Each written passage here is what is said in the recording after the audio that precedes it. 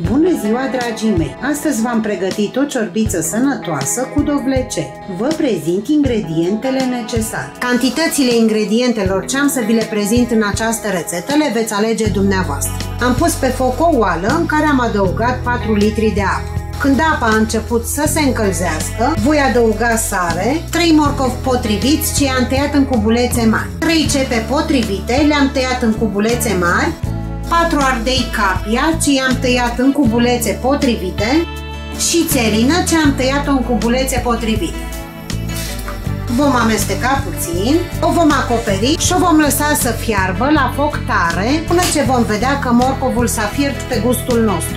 Voi verifica dacă morcovul s-a fiert morcovul s-a fiert foarte bine, este momentul să adăugăm dovlecei. Eu folosesc 4 dovlecei potriviți, i-am curățat de coajă, apoi i-am tăiat în cubulețe mari.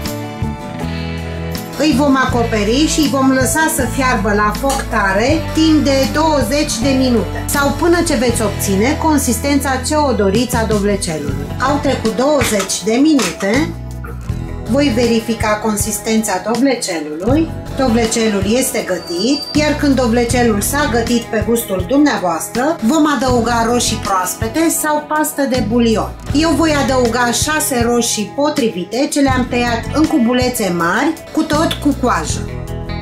O lingură de turmeric, o lingură cu vârf de busuioc uscat, o lingură cu vârf de cimbru uscat, și 50 de ml de ulei. Eu folosesc ulei de măsline, dumneavoastră puteți folosi orice alt tip de ulei doriți. Vom amesteca puțin și o voi lăsa să fiarbă până ce voi vedea că roșia s-a gătit foarte bine. În cazul în care veți folosi pastă de bulion, o veți lăsa să fiarbă timp de 5 minute, apoi veți proceda cum voi proceda eu după ce roșia s-a gătit foarte bine. Voi verifica dacă roșia s-a gătit Roșia s-a gătit foarte bine. Voi adăuga fidea groasă, două ouă, peste care voi adăuga 60 de ml de oțet. Voi amesteca foarte bine ouăle cu oțetul, apoi le voi adăuga în ciorbiță, amestecând cu furculița în ciorbă, în timp ce voi adăuga ouăle.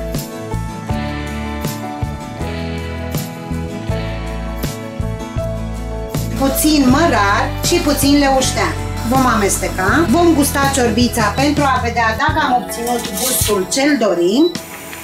Eu am obținut gustul cel doresc, eu tot timpul las ca fideaua să se umfle la temperatura ciorbiței. O voi lăsa să fiarbă timp de 2 minute, apoi voi stinge focul.